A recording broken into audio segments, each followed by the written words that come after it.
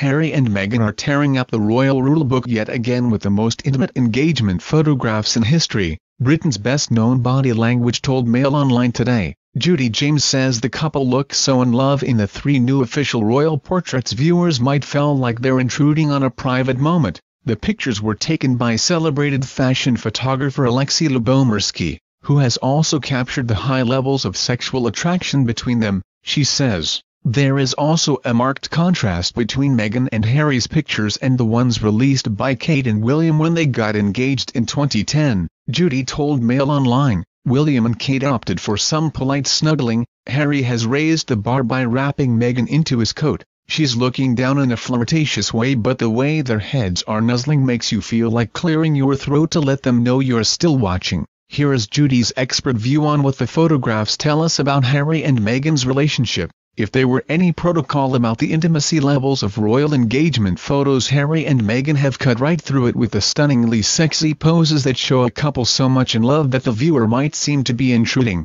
The new royal couple did take time out on the full-length shot to throw some eye contact towards the camera but it's clear from Harry's soft and dreamy eye expression in particular that his only real concern is the woman sitting between his legs. This is a very intimate pose and a world away from anything the royals have released before. William and Kate were cutely cuddled together for their engagement photos but their poses were far less exclusive in terms of locking out the viewer. They giggled towards the camera to share their happiness and their bodies were close but not to the extent that Harry and Meghan's are. Harry has enclosed his bride-to-be between his legs here in a gesture that shows loving protection along with high levels of sexual attraction. William and Kate's poses always looked like shared and sharing shots with the couple speaking to the camera with their eyes. This made their poses sweet and rather cute whereas the black and white shot of Harry and Meghan shows a couple almost isolated in their own love. Harry's besotted smile makes him look almost unrecognizable and an expression like this just has to be authentic rather than posed for the camera.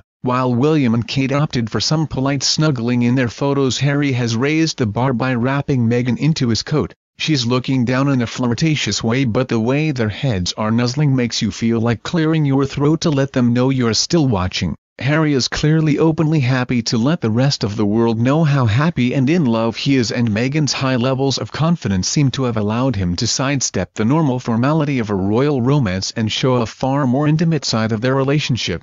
Thank you for watching.